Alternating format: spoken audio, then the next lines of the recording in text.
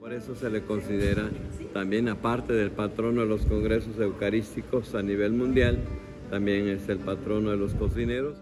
En Tuxtla Gutiérrez se llevó a cabo por primera vez una misa dedicada a cocineros, chefs y demás personas que se dedican a las artes culinarias en el tradicional templo de San Pascualito.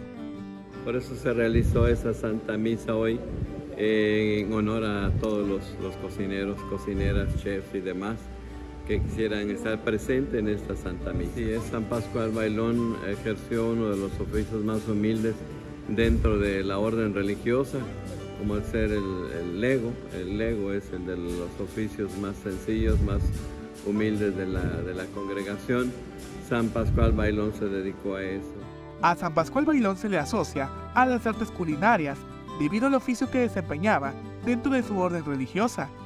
Al día de hoy es venerado cada 17 de mayo. Muchas cocinas donde he visitado de lugares importantes tienen la imagen de San Pascual Bailón en la cocina. O es el caso, por ejemplo, de un restaurante muy conocido en México donde asiste la crema innata de la sociedad, tienen en su cocina San Pascual Bailón.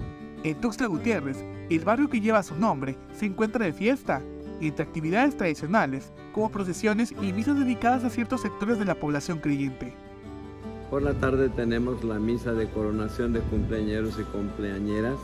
Invito a los que cumplan años en el mes de mayo a que vengan a, a la coronación, a la misa de coronación.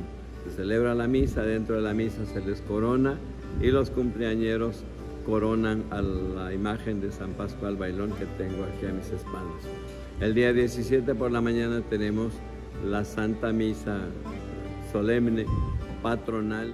El día 17 de mayo por la mañana se realizará el tradicional recorrido de la réplica de San Pascualito por las calles del centro de Tuxtla Gutiérrez, el cual se tiene previsto se realice antes de las 11 de la mañana.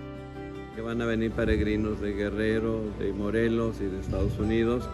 Dejamos a ellos el cargo de coronar la Santa Réplica para que vean que cuando salga el- la réplica, la, carreta, su recorrido, el carretón no va vacío, como algunos comentaban. No, ahí va la Santa Réplica de San Pascual y se va a coronar antes del recorrido. Posteriormente de la coronación ya nos preparamos para salir al recorrido tradicional que se ha venido realizando.